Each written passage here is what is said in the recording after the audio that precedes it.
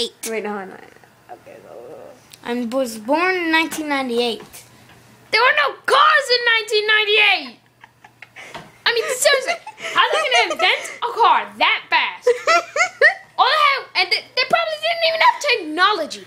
They probably had that stupid phone. Oh, that pole phone. Hello. I mean, seriously. Yeah, how fast but- do they make technology? They made technology like mad years ago. There was definitely technology in 1997. Eight.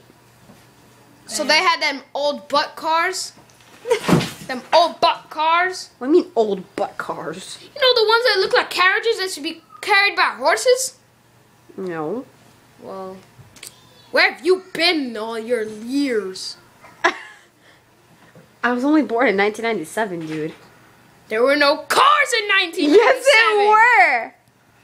Liar. Yes, there were. There were cars in 1997. There were cars in 1997. Watch, I will look up right now on this computer when were cars first invented. Right now. Fine. Fine. Fine. Fine. Fine. Fine. Fine. Fine, fine, fine, fine. Fine. Fine. Fine. Fine. Fine. Fine. Hello. When Goodbye. were... Yeah. Whoa. Oh my god, do not look at the, Isaiah, do not look at that first choice. do not look Cars. Ah. Here we go. When were cars first made? Or saw that. I'm gonna pretend I never saw that. Okay. Zap.